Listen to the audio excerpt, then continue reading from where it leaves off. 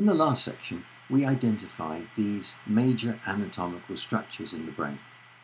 So now we're going to get into some animations that hopefully will give you a better feel for how these different structures fit together in three dimensions. And many of the images and animations in this section come from the Digital Anatomist project at the University of Washington. The first section, videos, will mainly focus on the cortex, the thalamus, the striatum in the basal ganglia, and the hypothalamus. In the following section, the focus will expand to bring in the amygdala, the hippocampus, the rest of the basal ganglia, and the cerebellum. Starting with the cortex, we label some large regions of the cortex by the names of the overlying bones in the skull, the frontal, parietal, occipital, and temporal bones that fuse together not long after we're born. These cortical regions are separated by some prominent valleys or sulci that are present in pretty much all individuals. We call these regions lobes, and the four major lobes are coloured yellow, purple, green, and blue. The label limbic lobe is sometimes given to part of the cortex area you can't see where the two hemispheres face each other. There's a bilateral symmetry evident in most brain structures.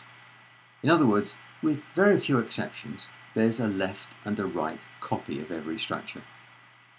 However, in some cases, certainly including the cortex, there are functional differences between corresponding areas in the left and right hemispheres. The frontal lobe, coloured pale blue, is heavily involved in higher cognition. The occipital lobe in yellow at the back does the initial processing of visual information. The temporal lobe in purple at the side does the initial processing of auditory information, but it's also involved in understanding and generating speech, and also in object recognition. The parietal lobe over the top in green integrates information derived from different senses. But as we'll get into later, the, those statements are very much approximations, and cognitive functions don't really correspond with cortical regions. It's just that some regions may be a bit more heavily involved or contribute a bit more to some functions. The other major structure you can see is the cerebellum under the back of the cortical hemispheres, and then there's the brainstem at the bottom that leads down to the spinal cord. In humans, the cortex is heavily folded, and the positions of the folds varies considerably from one individual to the next. Furthermore, even if the folds are in the same position, areas of the cortex with the same information processing role aren't necessarily located in the same positions relative to the folds. So it's not at all easy to make comparisons between the brains of different people. Here's the same starting view of the brain, but this time we'll rotate the brain to see underneath. The cerebellum is more visible, and you can see a part of what's called the limbic lobe in scarlet. The part you can see is the hippocampal gyrus. It's right next to the hippocampus and includes some cortical areas that are closely associated with the hippocampus. You can also see the hypothalamus buried away in there, coloured the same as the cerebellum. It's nestled in the centre of the base of the brain. The optic nerves, in white, pass from the eyes under the brain to the thalamus, which you can't see here because it's hidden behind the hypothalamus. The straight white structures are the olfactory nerves that connect receptors in the nose directly into the cortex. Then the white areas you can see, you can just see them between the cerebellum and the hypothalamus, are the cerebellar peduncles. These are axon bundles that carry information from the cortex to the cerebellum. This is what we call a medial view, with the left half of the brain cut away so that you can see the central section. You can see most of the limbic lobe, which includes the cingulate gyrus at the top and the parahippocampal gyrus that we saw earlier. And the parahippocampal gyrus in this view is partly hidden behind the brainstem. You can also see the exposed white matter of the cerebellum. The heavy folding of the cerebellar cortex gives the white matter an appearance that has led to it sometimes being called the tree of life. The basal forebrain is a group of nuclei with similar neurons. Part of the group is the septum, or the septal nuclei. The septal nuclei are heavily connected with the hippocampus and vice versa. You can see part of the hippocampus in purple at the bottom. The projection between the hippocampus and the septal nuclei carrying axons is called the fornix, which you can see to some degree also in this picture. But as I'll describe in the next section, the fornix actually follows a very long route, going back along the top of the hippocampus, where it's actually called the fimbria, then curling up, around and over to reach the septum. The thick white band is called the corpus callosum, and this is the main communication between the two cortical hemispheres. You can also see the white anterior commissure sticking out like a cat's whisker. It's the only structure that's been left in the picture from the left hemisphere. The anterior commissure is an axon bundle that also carries communication between the two cortical hemispheres. But in addition, it carries communication between the left and right hemisphere hippocampus and between the left and right amygdala. As I mentioned earlier, the central sulcus with the precentral gyrus anterior to the sulcus and postcentral gyrus posterior tend to be present in all brains. The postcentral gyrus in yellow towards the back of the brain is where sensory input derived from touch and body position first arrives in the cortex, coming in via the thalamus. And on the other side of the sulcus, most of the blue-coloured precentral gyrus is the primary motor cortex. This area contains large neurons with long axons that extend down to the spinal cord to activate the motor neurons that drive muscles. Two other major features that appear in pretty much every human brain are the lateral fissure and, of course, the longitudinal fissure that separates the two hemispheres. Different areas of both the somatosensory and of the motor cortex map with different parts of the body. There are areas in those cortices corresponding with legs, arms, fingers, and so on. And the left hemisphere cortex maps to the right side of the body and vice versa. And if we rotate the brain, underneath you can once again see the hypothalamus. But in this case, the pituitary gland that's controlled by the hypothalamus is also illustrated. Now the brain has the consistency of a kind of firm jelly, and it's protected by the skull. Within the skull, the brain is actually floating in about 150 milliliters of cerebrospinal fluid. And this fluid is constantly produced. It circulates through four cavities called ventricles, then through the space between the brain and the skull, and leaves into the veins. Now, as I mentioned earlier, these ventricles are distinctive landmarks for locating anatomical structures.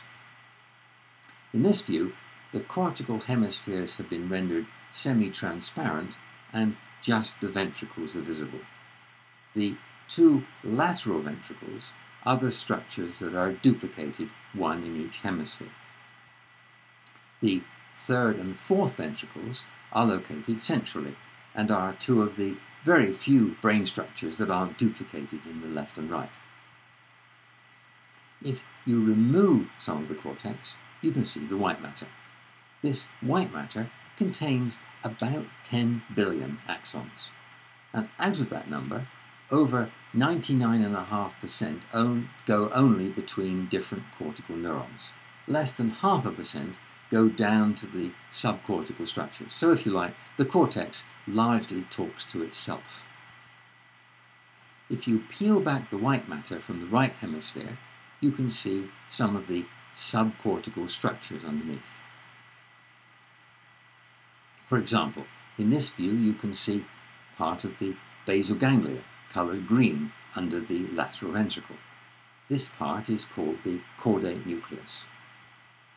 The amygdala is also shown, and the claustrum is a thin, irregular sheet of neurons that appears to play a role in communication between the two brain hemispheres, but I will hardly be discussing it at all in this course. In this view, the cortical hemispheres are again semi-transparent, and the physical locations of thalamus, hypothalamus, and pituitary gland are shown. The thalamus is under the lateral ventricles, closer to the center of the brain than the caudate nucleus that was illustrated in the previous slide and the primary motor area is shown in blue and the primary somatosensory area in green. Both the thalamus and the hypothalamus are bilateral. In other words, there's left and right hemisphere versions. But the pituitary isn't bilateral, although it does have very different anterior and posterior regions that have quite different functions. We caught a glimpse of the caudate nucleus in the earlier diagram, tucked under the lateral ventricle. And this gives us a more complete view with almost everything else left out and the cortex again made semi-transparent.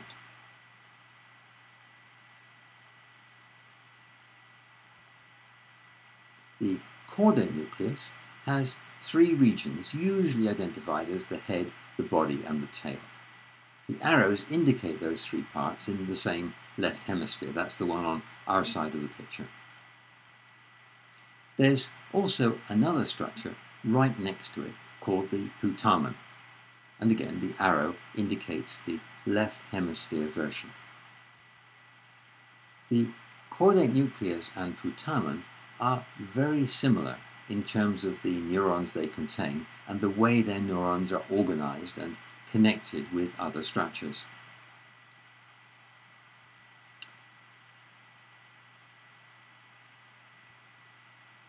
The two together are generally called the striatum. The striatum gets lots of inputs from the cortex, and the main difference between the two parts is the regions of the cortex that provide the inputs. The thalamus isn't shown, but it's located between the left and the right hemisphere striatum. In there between the two. Here we're showing the lateral ventricles with the striatum nestled underneath. And remember that the left and right thalamus are also nestled under those ventricles in the central space between the left and right striatum. Now, to confuse things a bit, there's another structure that has quite similar structures to the striatum, but a few differences. This part is called the ventral striatum because it's under the main striatum, and in this picture it's coloured yellow. If we use the term ventral striatum, we tend to call the main striatum the dorsal striatum. Remember, dorsal means higher up. But the ventral striatum is also often called the nucleus accumbens. When we use that term, we tend to refer to the dorsal striatum that's made up of the caudate nucleus and putamen as just the striatum. The putamen part of the striatum seems to be heavily involved in the selection of motor behaviors, and the caudate nucleus part more in cognitive behavior selection, and the nucleus accumbens seems to have something to do with rewards for behaviors, and perhaps as a result, the nucleus accumbens, or ventral striatum, is often implicated in drug or other addictions. Now let's go to the thalamus for a moment. And as I mentioned, the thalamus has a lot of subnuclei. Sensory information from the eyes goes first to one of these subnuclei, called the lateral geniculate nucleus, or LGN. From that nucleus, it goes to the primary visual cortex at the back of the brain. The lateral geniculate nucleus sticks off the back of the main body of the thalamus and bends underneath. The optic nerve goes into the LGN. The thalamus is under the lateral ventricles, and once again, if the striatum was illustrated, it will be also under the ventricles, but lateral to or on the outside of the thalamus. The hypothalamus, coloured yellow here, is below or ventral to the thalamus. The infundibulum carries information from the hypothalamus down to the even more ventral pituitary gland, although the pituitary isn't actually illustrated. The infundibulum has two parts. One is a bundle of axons, the other carries a flow of blood containing hormones, and both come from the hypothalamus. So that introduces the relative positions of the cortex, the thalamus, and the striatum. And in the next section, we'll bring in the other major brain structures.